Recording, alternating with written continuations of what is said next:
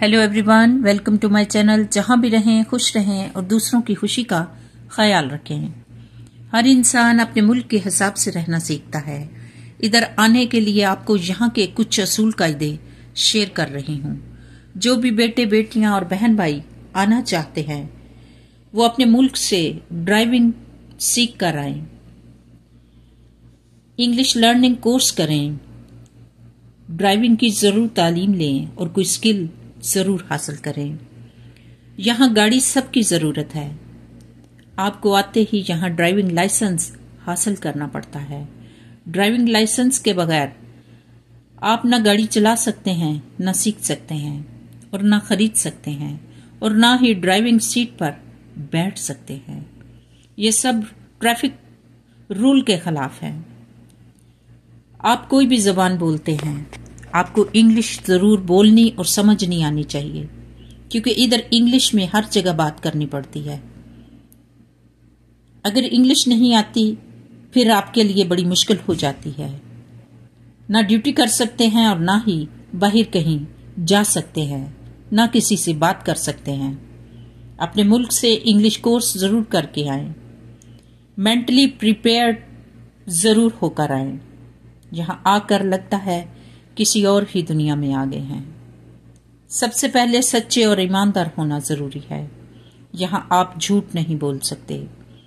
इतनी जदीद टेक्नोलॉजी है, इंसान के हर डॉक्यूमेंट का सही पता चल जाता है। क्योंकि यहाँ जब आपका ID green card social security card बनाते हैं कंप्यूटर सिस्टम के ज़रिए आपका सब पता चल जाता है। कितना पैसा आप साथ लेके आए हैं? सैलरी कितनी है? किसके पास रहना है? कितनी देर रहना है? रिहाइश कहाँ है? और बहुत कुछ भी बताना पड़ता है। जो भी कंडीशन अपने मुल्क में या अमेरिका आकर है, बताया जाता है। अगर इंफॉर्मेशन गलत होगी तो ये वापस भी आपके मुल्क में भेज सकते हैं। मम्मा के लाड नखरे भूलकर यहाँ की ज़िंदगी के लिए जहनी तौर पर तैयार होकर आना पड़ता है। अपने जाति और ड्यूटी के काम खुद करने पड़ते हैं।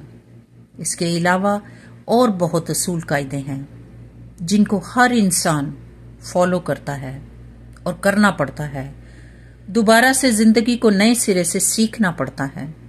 अपने जहन को समझा कर आना होता है और सोच समझ कर यहाँ रहना पड़ता है। यहाँ किसी असूल कायदे को हम तोड़ नहीं सकते, वरना रूल को तोड़कर आप खुद समझदार हैं और समझ सकते हैं क्या होता है।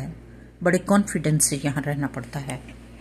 अब इजाज़त चाहती हूँ, कल एक नई सुबह और नए व्लॉग के साथ फिर मिलेंगे।